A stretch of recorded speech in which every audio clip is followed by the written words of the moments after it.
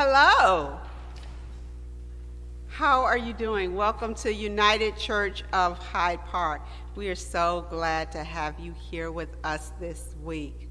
It is so good to uh, have you guys, however you're joining, whether you're in Zoom land or you're on Facebook, uh, it is good to have you with us.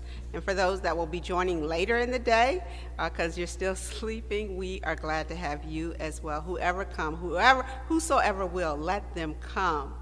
So uh, yesterday, one of my friends was asking, what new traditions will you begin this year for Thanksgiving? And at first, being a little smart aleck, I was like home alone.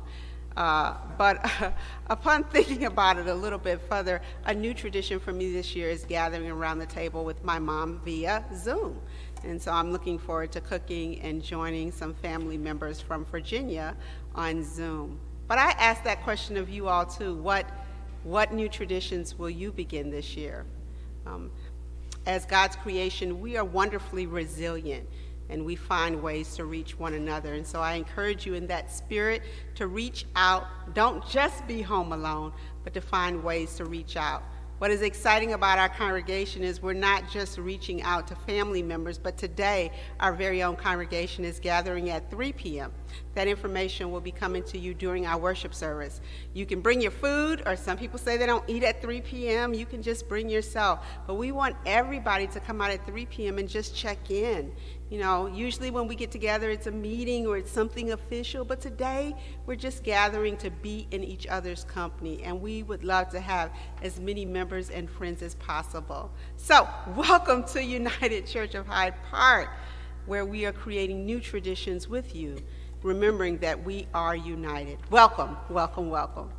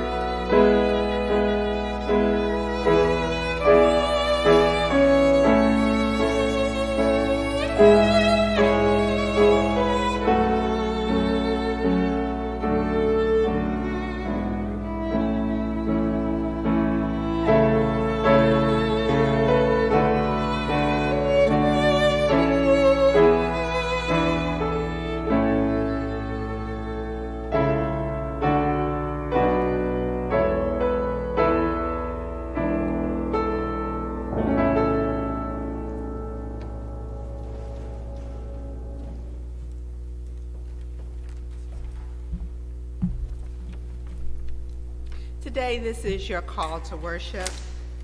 Know that the Holy One is God. We are God's people. Worship the Holy One with gladness. Come into God's presence with singing. Enter God's gate with thanksgiving and God's courts with praise. Make a joyful noise. For God is good. God's steadfast love endures forever and God's faithfulness to all generations. Let us worship with thanks and joy. Let us praise God in song and word and prayer.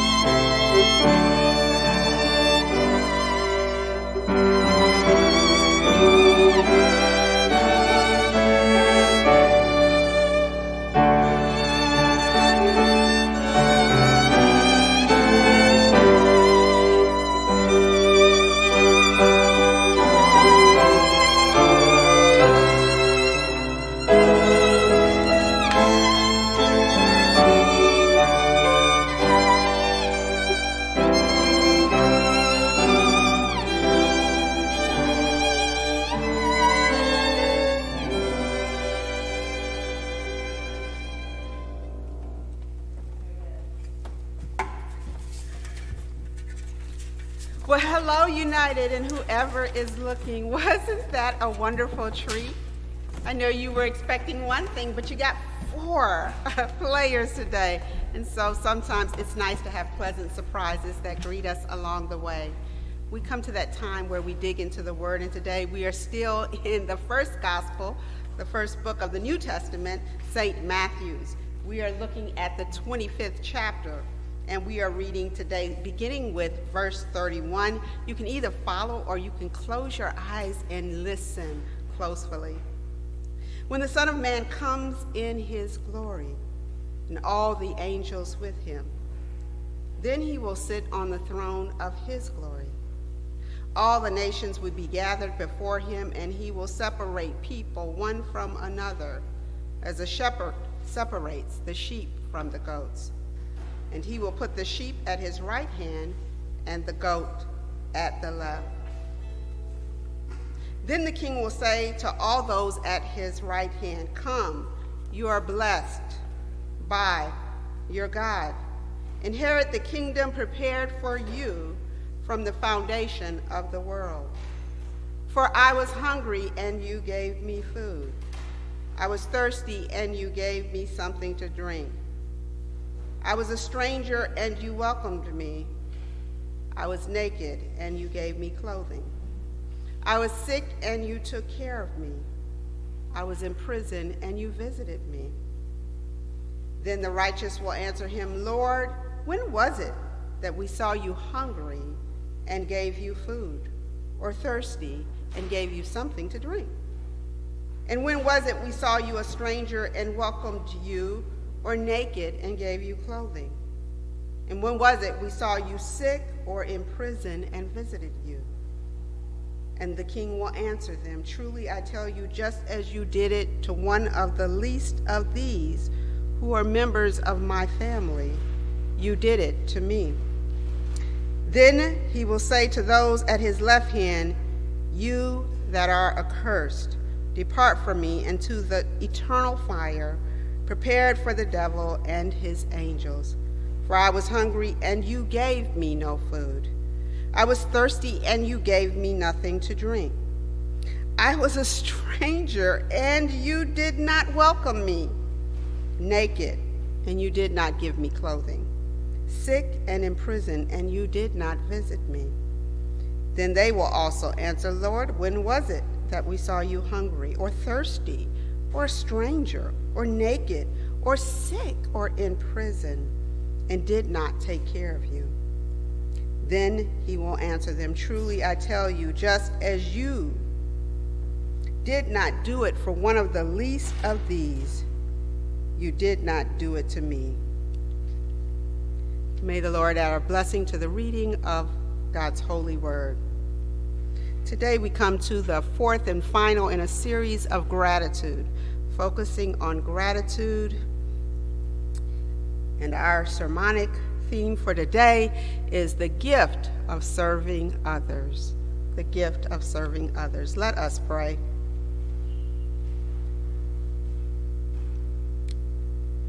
Dear Lord, even though many of us are confined to our homes, we are moving, we are on Zoom calls, we are doing and busy and active and moving.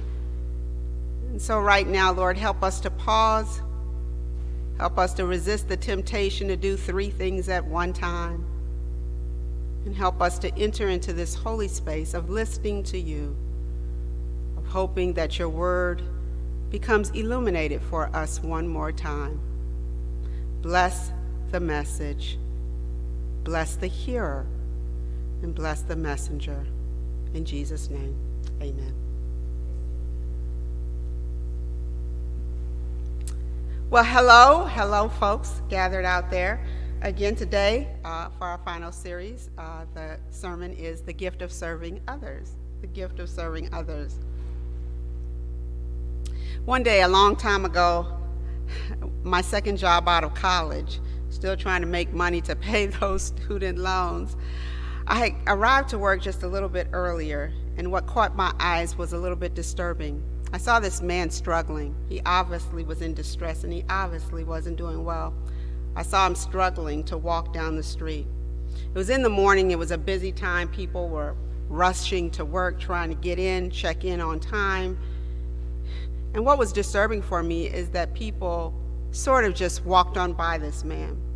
That even in much of his distress, nobody really stopped to help him or to even ask a question.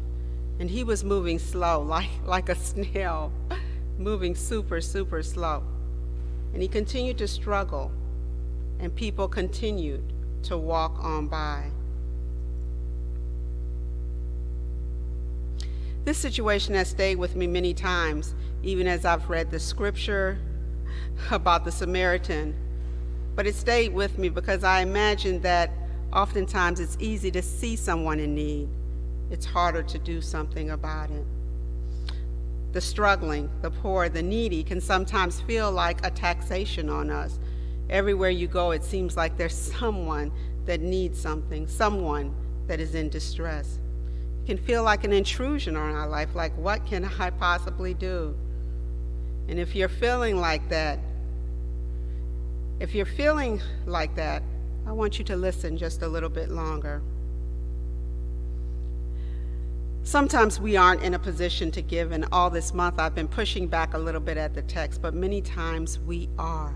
We are in a position to give. And so the text in Matthew today challenges us the question that's before us in this text today is how do we respond to human need? How do we respond when we see people struggling on the streets? How do we respond when we find out that someone is really, really having a hard time? And the gospel, even here, has an opinion. The writers, the editors, redactors of this text come across pretty harsh about how we are to respond to those in need. This is our fourth Sunday of focusing on gratitude. Today we are looking at service that flows out of our gratefulness. To be so utterly blessed by God leads one to share out of a state of being so blessed. We share our all on week two. We shared the truth last week. And on the first week of this gratitude series, we reminded that as we share the all, as we share the truth, and even as we serve one another, we do it from a space of humility.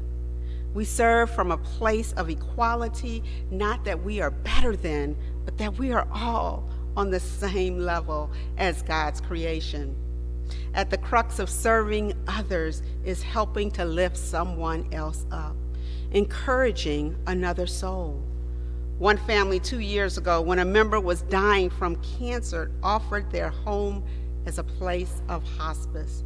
It means when they found out someone that they knew in their church was dying, and that because he was gay and that his sister was very judgmental, they decided to open up their home so that he, this dying gay man, could have a safe space in which to cross over. And they took and fixed up their back porch, and they put a bed out there and they put him on it.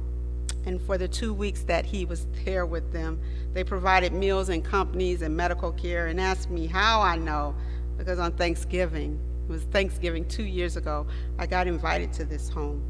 And I stepped in and I saw this man that was in hospice. And I sat around a table and I shared a meal. And I thought, what a beautiful way to serve another. Here was this person with one foot already leaving this world and yet being cared for with kindness. And we sat around a table that Thanksgiving as he uttered, as tears flowed from his eye, how grateful he was to be alive.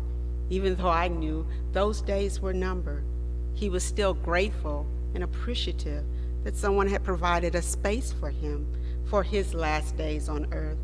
And we shared a meal that day, and we laughed, and he talked, and he was grateful.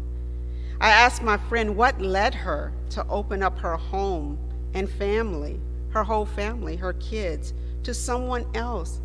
And she said these words If I were that someone in need, I would want someone to do the same thing for me. To do it for me. The text today says, As we do it for the least of these.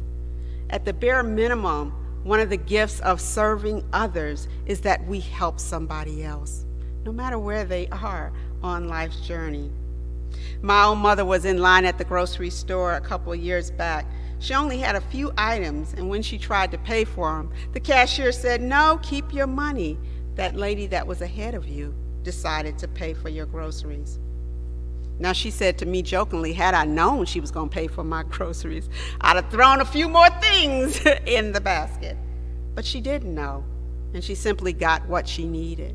And when she arrived at the cashier, she said, I'm wondering, do I look a certain way? But this lady had decided to pay randomly for different people, and my mom was one of them. And just because she had only four items in the basket, it blessed her. It blessed her that some stranger she had never seen and didn't know would pay for her groceries. It encouraged her. And as she left the store, she left with a warm feeling that this stranger would do this kind act. When we do service to others, we help the stranger. We help lift someone up. We help bless and encourage a soul. We don't know the power sometimes of how much it is a blessing to serve others the real gift of serving others is when there's no expectation in return. When a gift is to be able to do something for someone else because of your understanding that God calls us to serve and expect nothing from the person you're serving. It is such a beautiful place and a spiritually mature place when we can pour out love and kindness to others simply because we're called to serve and we don't expect anything back from them. So many times I look at commercials, and now I say to my son, whenever we're looking at a commercial and he's getting caught up, what's the purpose of a commercial? And he says it's to get us to buy something. He says, but that really looks good. But what's the purpose of a commercial? The purpose of a commercial is to get us to buy something. And so they make us feel like we need this thing. But in the world of being a follower of Christ, we do things not to get people to do anything back we give with no expectation because we are called from a space of being so grateful for how good that God has been to us. We're not marketing, we're not trying to get your money. We're just trying to love up on you because Christ first loved us. Serving others helps others. But guess what? Serving others helps us. Yesterday, a friend of mine, for her very own birthday, helped put together 200 boxes with others for those in need. This church will give out a thousand boxes. I'm amazed, but it's a mega church, it's a bigger church. And there she was working, and she sent me a video, and she was moving, and I was like, goodness gracious. She usually moves slow, but she was moving pretty fast, moving corn and separating and getting things into boxes. Every year, this friend goes out of country to help in another country to participate with Habitat. Ever since she turned 40, every year she goes to another country and she gives. And for her, on her birthday, serving others blesses her. But this year, she wasn't going to be able to do it because of COVID. But at the last minute, this opportunity arose for her to meet out with these people at a church and to put boxes together. Serving others is not only good for others, but it is good for us. I could already tell she was blessed, and by the time she got home, her body was aching. Her body was exhausted, but her spirit, her spirit was refreshed. I could tell that serving others had given her this different kind of energy. Prior to COVID, we served hot meals on Saturdays. Tired and weary souls poured in. They would stand in line and wait for entrance and they would eat and eat incredibly. They had like unlimited stomachs. Sometimes they would take food home and they would drink and they would sit back. And some people that came to our open breakfast said absolutely nothing. But there were others that would sit and their shoulders would relax and their countenance would change. And they would begin to have conversations with one another. And I would see a miracle of sorts as people who are treated in a certain kind of way were given dignity and respect. If you've never served in our open breakfast, it is such an honor and quite a place to observe. But those weren't the only people that were being blessed. There would be conversation to, between Boy Scouts and college students serving special service hour and seniors, mature seniors, and other volunteers there one of the funniest things is that one of the funnest things that I have done at United is serving at open breakfast. I feel leaving lighter no matter what countenance I enter, no matter how bad or what kind of struggles or conflicts we're in. Somehow coming to open breakfast feels like church too. And I know I'm not the only one. There's a real magic that happens at our open breakfast. And it doesn't just happen to the people that we're serving, but it happens to the people that serve. I think there is this opportunity for us to experience some new magic, even as we're challenged by COVID.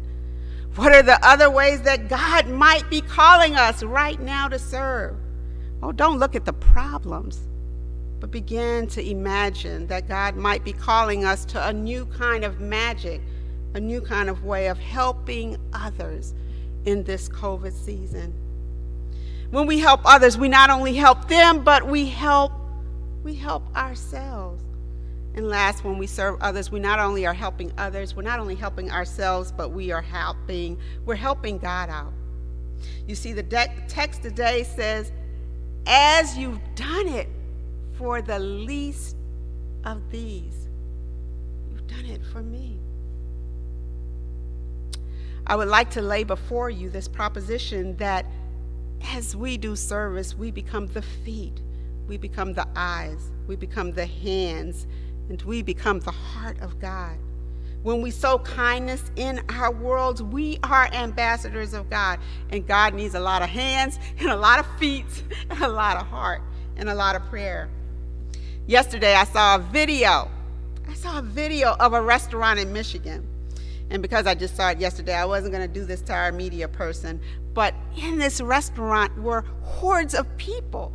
I mean, the restaurant was packed, and not one person had a mask on their face Waiters are running around serving people. It's a bar restaurant. There's kids, there are people. And I don't know what was going on, but this restaurant was packed. I looked at the day, and the date said that it had only been recorded a day before, and it was on Fox News. Interesting, Fox News there. But Fox News had recorded this restaurant in Michigan, who it seemed like was worlds and worlds away from where we are today. And so I began to think and muse about what I was watching. And then I did something that I'm told you shouldn't do. I began to read the comments under the video. And so I'd like to share a little bit of those comments with you. More restaurants need to do this. If you're scared, stay your butt at home. Oh, yeah, and if you get sick, stay at home. And don't clog up the ER with your selfish behavior gets you and your loved ones sick. Uh, I've known a handful of people who've had it. It's like the flu. Do you stay at home for the flu every season? You do realize you are supposed to stay at home when you have the flu, right? Guess you better not go to the grocery store, gas station, or Target than a risk being called just another liberal hypocrite. Stay home when you have the flu, not all flu season. Arguing with you liberals is like beating my head against a brick wall. Believe me, we feel the same way when trying to explain to you MAGA nutcases. It's worse than the flu. No one on this post will likely read this, but it comes from John Hopkins, the expert. It explains the virus and why it is more dangerous and why it is more dangerous than the flu. These conversations went on and on. This post had been shared over a 100,000 times in one day, and back and forth and back and forth. And I asked God, what would it look like for more committed people to serving others than going to war? Because that's what we're doing. We've won an election, but what have we really won? I still feel good about the election, I'm not going to lie. But we know we are facing something much more graver. Serving others is a beginning, but it, I suspect it's going to take a whole lot more than serving others to heal our country. But I do know that service begins to connect us, it begins to build relationships. And maybe somehow we can stop this tear that is happening in our country. Reverend William Barber, with Moral Mondays on financial disparity in our country, chooses not to focus on the left or the right. Maybe that's not the way, but he focuses on the fact that there are people who are in financial need. And let's address that through policy, and let's that address that through the Senate, and let's address that through our government. We have a population that we feed over and over again that are hungry. We have mental illness that abounds. I was just in Jewel's the other day when this man was hollering and hollering. And I looked at his caretaker and I saw how tired she was. Security was called in. We have a mental health crisis in our country. We have so many crises going on in our country. And maybe we can begin to not focus on whether you're on the left or the right, but the real needs that are happening in our country. There's a love fridge right here in Chicago. And one day, when me and my son were walking our dog, we stumbled upon the love fridge. I don't know how many of you have seen the love refrigerator. Anyway, it's beautiful. It's got all this beautiful paint. It's over on 57th near the co op store. It's in an alley, and we opened it up, and there was milk, and there was meat, and there was vegetables, and there was all kinds of food. And I learned, and I had been hearing about this, that this love fridge, there are several of them all across the city. And the beauty of the Love Fridge is anybody can come and open it up and get what they need. Any of us can donate. They're all over the city, as you do for the least of these. We're in a time where serving others doesn't just help others out, and it doesn't just help ourselves, but it helps our God. I imagine the people that had this brilliant idea are helping God out. They are being the hands and the feet and the heart and the spirit. And you can get your food and go home and eat and shelter and be safe. I came across this another organization that is helping the LGBT community out with utilities. If they are struggling, they give so much money every six months. It's not a lot, but I still imagine that they are being the hands and the feet and the heart of God. Folks are fixing turkey baskets for people that don't have. And even when we were doing once upon a time open breakfast, I imagined that we were the hands and the feet and the heart of God. I believe that as we do for the least of these, because the text says it, we help. We help God out. Gratitude is something we cultivate.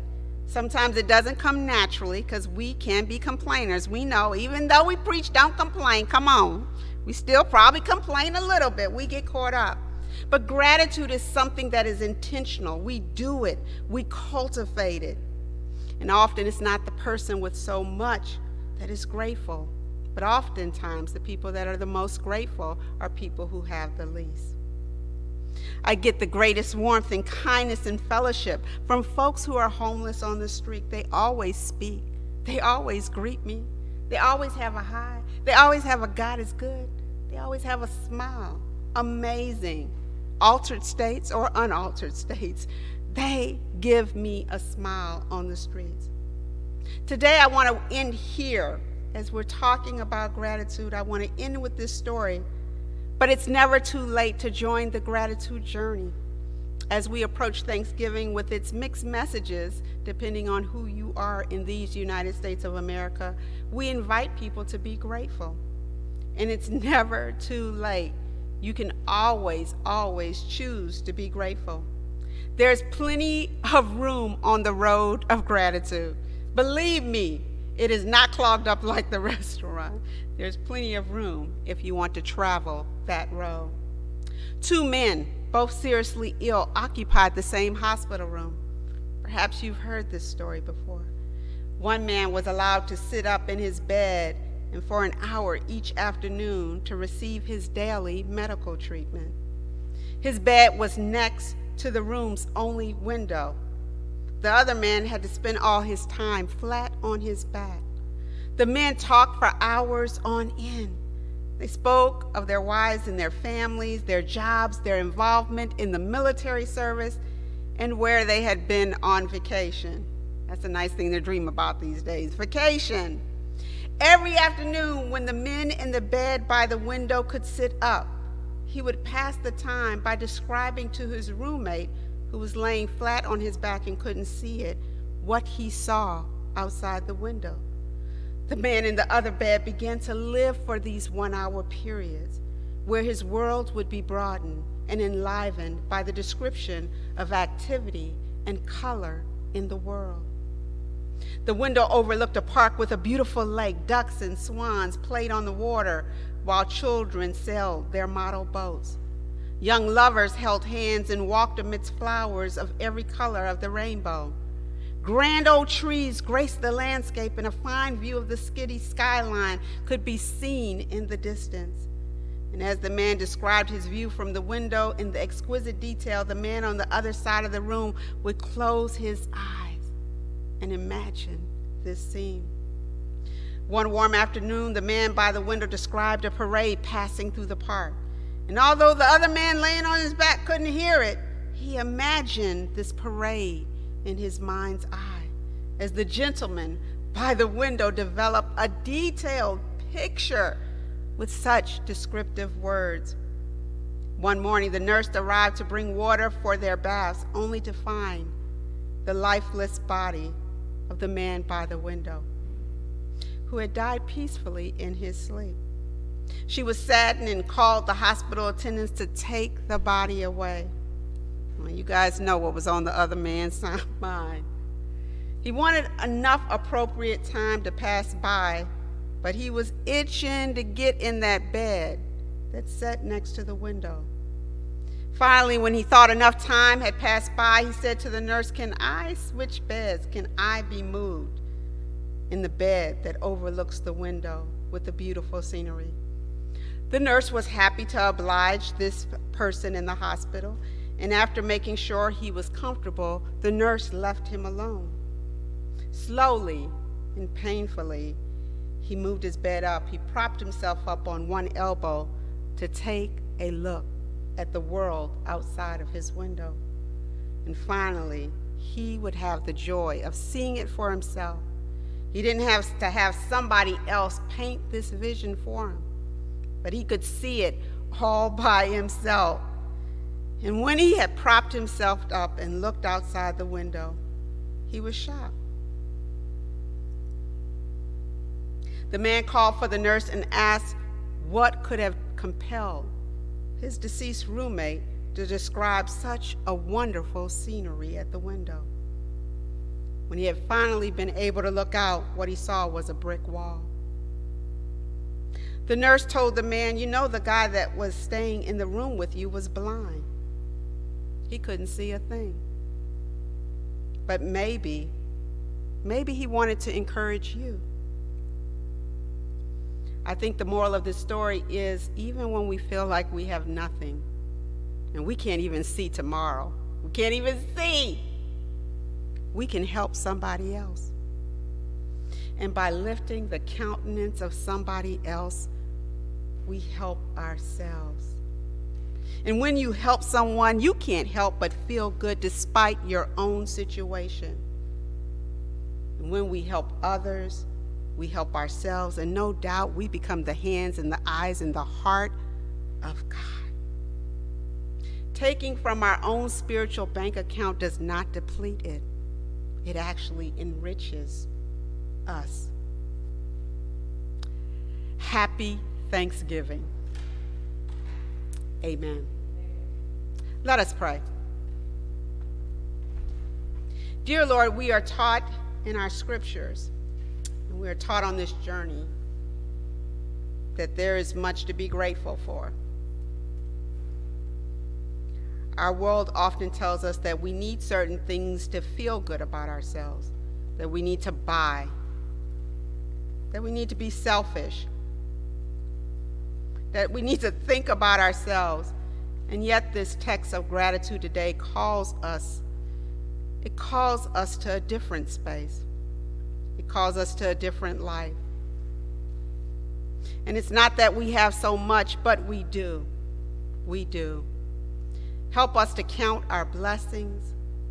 Help us to cultivate this spirit of gratitude. Help us to help one another and help us in helping one another and helping ourselves to help our God.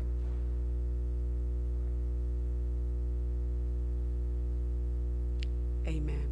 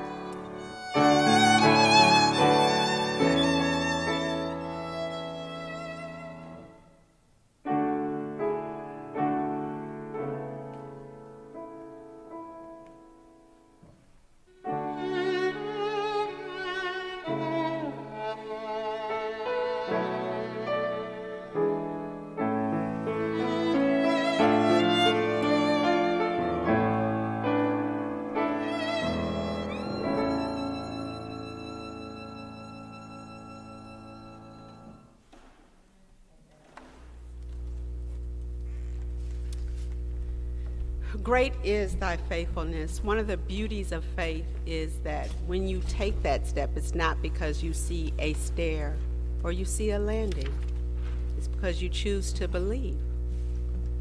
We invite you to faithfulness as you consider what you will give today. Today, we're taking up a special Thanksgiving offering. We're encouraging people to continue to give to their pledges and tithes, but to also consider contributing to our Thanksgiving offering. I talked about in the sermon today helping others um, and serving. Um, your church is in need of your help. And so, if this space blesses you, if this community blesses you, if this is a space where you find harmony or you find a word that helps you along the way, then we ask that you help us and that you share and that you take that step of faith. Great is thy faithfulness. The word says all that is needed from us is just a little bit of faith, the size of a mustard seed. So we invite you today, as we do every Sunday, to share your financial resources and to also perhaps give to our special Thanksgiving offering today.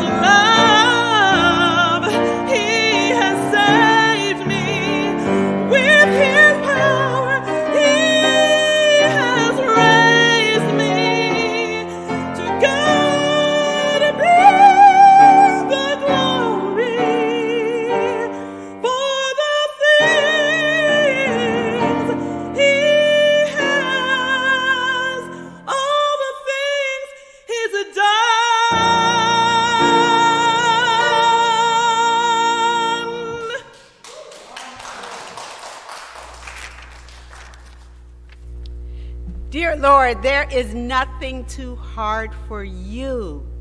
There is nothing too hard for you. Take our offering and do magnificent things with it, not just in our church, but in our community and in our world. To God be the glory for the things that He has done and for the things that God, she will do. In Jesus' name, amen. We have been allowing people to share joys and concerns uh, with this community. We haven't had so many, um, but this morning I did get a text message from a sister named Sharon Carney. Um, for those that may know her, she's someone that helps a lot with our homeless community.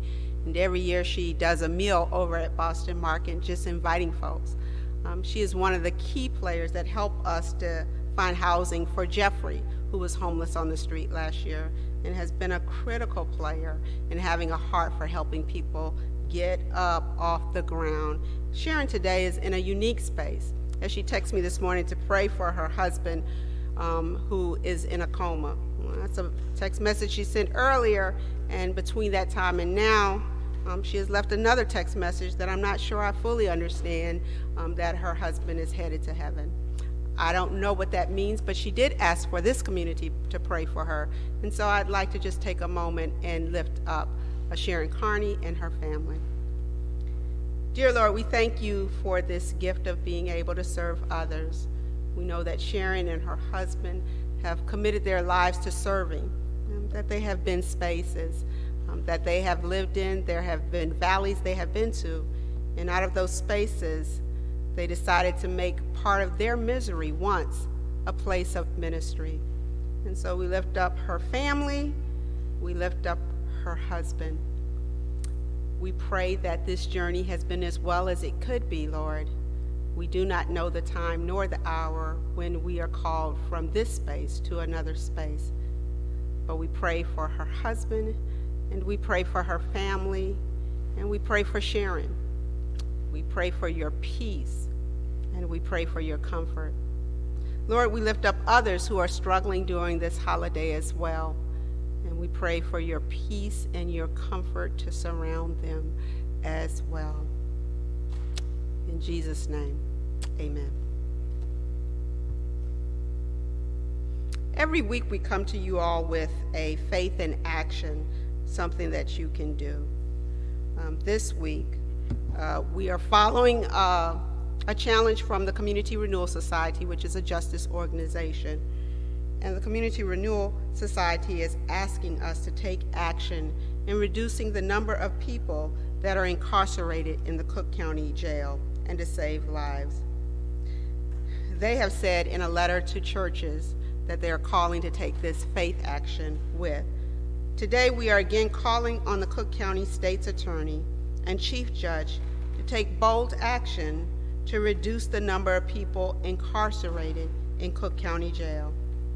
We are also calling on Sheriff Dart to reinstate the social distancing practices originally ordered by the federal court, an order that his office worked to overturn. For months now, the sheriff's office has been housing multiple people in the same cell and hundreds of people in huge dormitory settings that facilitate the spread of COVID 19 by creating tight conditions and the inability to social distance. Also, guards at the jail do not wear their masks effectively. These actions place thousands of people inside jail at risk in ways they cannot control. This is unacceptable. Please take a few minutes today to call and email elected officials. Um, on your screen, you should see a link where you are able to send an email or do a phone call on Monday or Tuesday of this week. We encourage you to join in in supporting the safe distancing for people that are in Cook County Jail. Today, as I said before, we are gathering at 3 p.m. this afternoon. We hope that we will have all of our members and all of the people that have been worshiping to join us. Uh, we will be doing a responsive reading and we will listen to an inspirational video um, that showcases our people. And we will also have time just to check in and hear one another and to hear how we're doing. You can call into Zoom or you can come in and be present and we can see you. If you need help, please let us know. Uh, Belle is someone that's uh, helping as well. Um, as well, December the 7th, we are having a church meeting. This is a little bit different from the meeting we're having today. December the 7th at 7 p.m., we would like to be able to catch up our members, let you know what's happening, some of the developments that are happening with our infrastructure, and so we hope that you can also attend that meeting. Now, I am so excited about things that are happening at our church, but I'm really excited about this. We have prepared ad- Advent bags this year. So, um, Anne Audrain and Ina Grace Dietrich have been working on preparing Advent bags, and inside of them are candles. And so this year, if you want one, we'll mail it to you. If you live in Chicago, let us know. We're going to have some in the office so that you can stop by this week and pick them up. But in your very home, this year, you're not only going to be able to watch, but you're going to be able to participate in the practices of Advent, and you will be able to light your own candle and worship with us together. And in that bag are some other treasures, so you want to get this bag. So, how do you get this bag? You can either stop by the church office this week, you can either let us know and we will uh, drive it to you if you're in Chicago. And if you live outside of the Chicagoland area, we are willing to mail it to you. We have 40 bags. We have done hard work. We don't want them here. We want them in your home. So please, if you're watching, let us know. You can message us, you can call in, you can email us, but we want those 40 bags. That is my commitment this week. We want those 40 bags in people's homes. So we're excited. So, what are you going to do today at 3? You're going to join us on Zoom. The information is available. What are you going to do on December 7th? You're going to come to the church meeting. And what are you going to do this week? You're going to get your Advent back so you can be with us in service. Happy Thanksgiving. Happy Thanksgiving. Make new practices. Be resilient. Happy, happy Thanksgiving. Before we close, we're going to have a closing hymn and then we're going to do the benediction, and we hope to see you at 3 p.m. today. Happy Thanksgiving.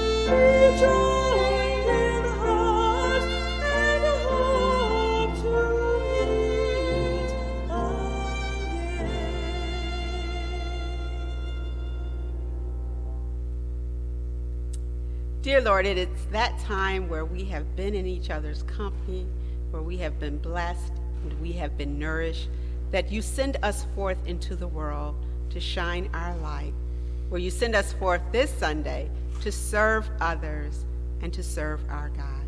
Go and be well. In Jesus' name, amen.